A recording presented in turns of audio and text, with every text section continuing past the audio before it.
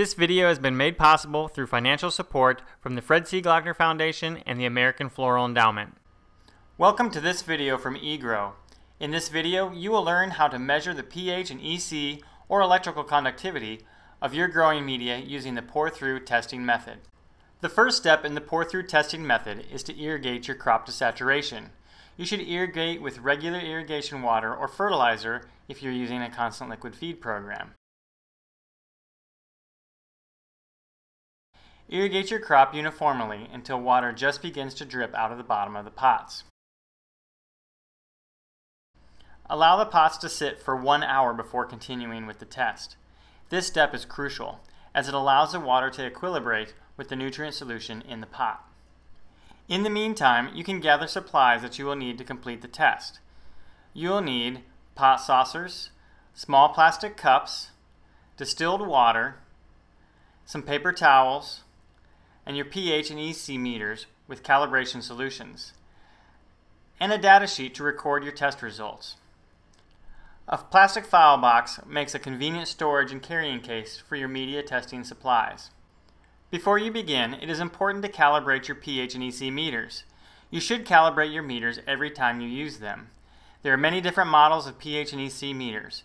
It is important to follow the calibration instructions provided with your particular model to ensure that you are getting the accurate readings.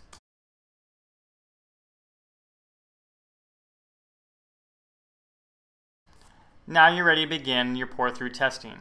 Select a representative sample of pots from your crop. 5 to 10 pots per crop is a good sample size. Place a pot saucer under each pot.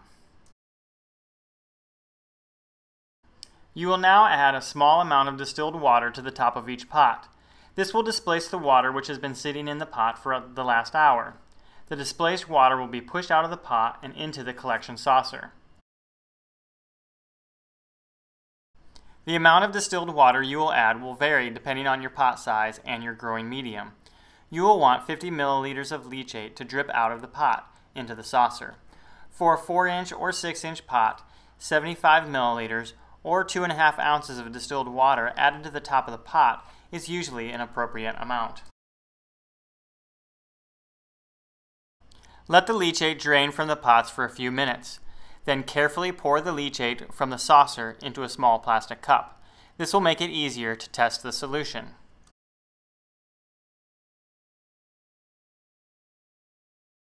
Do not mix the samples.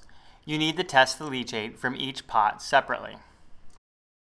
Using your calibrated meter, test the pH and EC of each sample and record the values on your data sheet.